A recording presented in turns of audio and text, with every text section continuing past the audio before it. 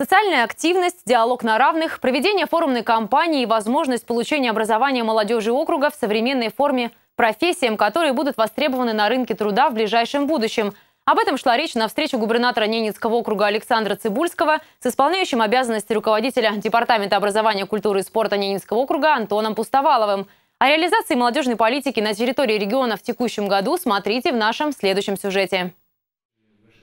Особое внимание на встрече Александр Цибульский обратил на федеральный проект «Диалог на равных». Это дискуссионные студенческие клубы, куда приглашаются выдающиеся личности, добившиеся профессиональных высот и имеющие богатый жизненный опыт. Они беседуют с молодежью и рассказывают о том, какой путь им пришлось пройти, чтобы добиться успеха в жизни. К нам же вот приезжают гости да, разные в, в регион, и депутаты Государственной Думы, и, там, и члены правительства, и, и другие интересные творческие люди – наверное, вам есть смысл с, регуля... с какой-то регулярностью приглашать их на такие встречи с нашей молодежью. Ну, вот у нас там была Оксана Пушкина, и просто сейчас мне пришло там Светлана Журова, да, э, Ирина Роднина. В общем, такие легендарные, легендарные люди, которым точно есть что рассказать. Они провели форум, но одновременно можно было бы и приглашать их к молодежи, чтобы они поговорили с молодежью. Завершение строительства здания молодежного центра откроет для подрастающего поколения новые возможности. Весь второй этаж центра будет занят под технопарк «Кванториум», что обусловлено важнейшей задачей реализации молодежной политики в регионе – дать современные навыки и компетенции подрастающему поколению. Мы да. все прекрасно понимаем, что не за горами через 5-6 лет те профессии, которыми, может быть, владеем мы с вами, станут не очень востребованы в мире. И поэтому надо сегодня уже именно через такие вот современные образовательные, э, молодежные да, центры стараться дать первые навыки вот этих вот новых профессий, для того, mm-hmm. чтобы они хотя бы могли вот эту новую, новую форму профессиональной э, профессиональной апробации пройти или профессиональной пригодности попробовать понять, что, что для них более близко.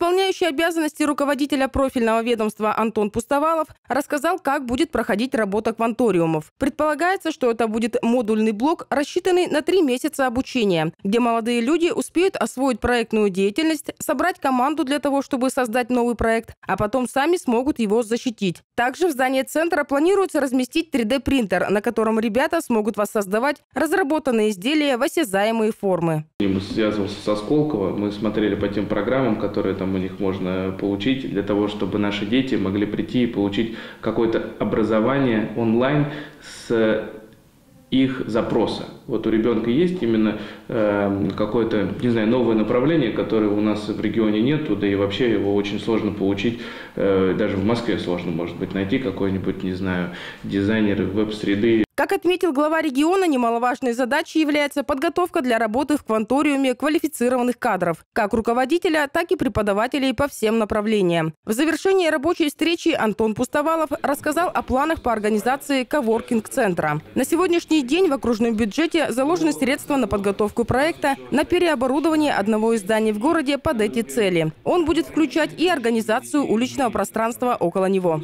Александра Литкова, Владислав Носкин, телеканал «Север».